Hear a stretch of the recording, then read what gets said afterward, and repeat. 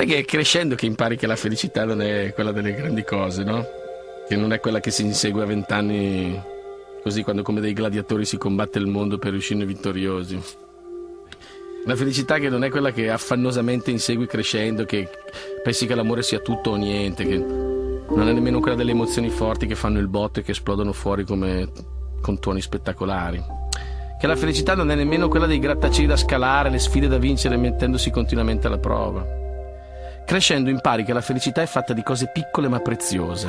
Impari che il profumo del caffè al mattino è un piccolo rituale di felicità che bastano le note di una canzone, le sensazioni di un libro dai colori che scaldano il cuore, che bastano gli aromi di una cucina, la poesia dei pittori della felicità, che basta il muso del tuo gatto o del tuo cane per sentirti una felicità lieve.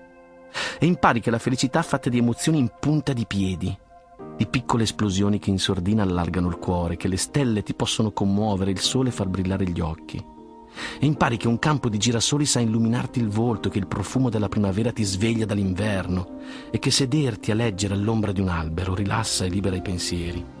E impari che l'amore è fatto di sensazioni delicate, di piccole scintille allo stomaco, di presenze vicine anche se lontane, impari che il tempo si dilata e quei cinque minuti sono preziosi e lunghi più di tante ore. E impari che basta chiudere gli occhi, accendere i sensi Sfornellare in cucina, leggere una poesia, scrivere su un libro o guardare una foto per annullare il tempo e le distanze ed essere con chi ami. E impari che sentire una voce al telefono, ricevere un messaggio inaspettato sono piccoli attimi felici. E impari ad avere nel cassetto e nel cuore sogni piccoli ma preziosi. Impari anche crescendo che tenere in braccio un bambino è una deliziosa felicità, impari che i regali più grandi sono quelli che parlano delle persone che ami. Impari che la felicità anche in quella urgenza di scrivere su un foglio i tuoi pensieri, che c'è qualcosa di amaramente felice anche nella malinconia. E impari quanto sia bella e grandiosa la semplicità.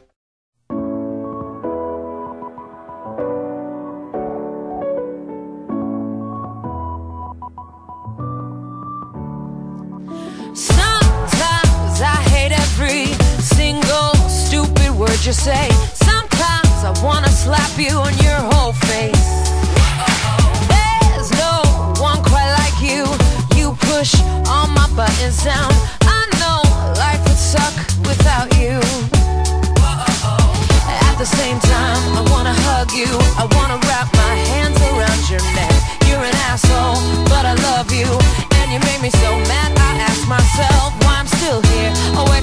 Go?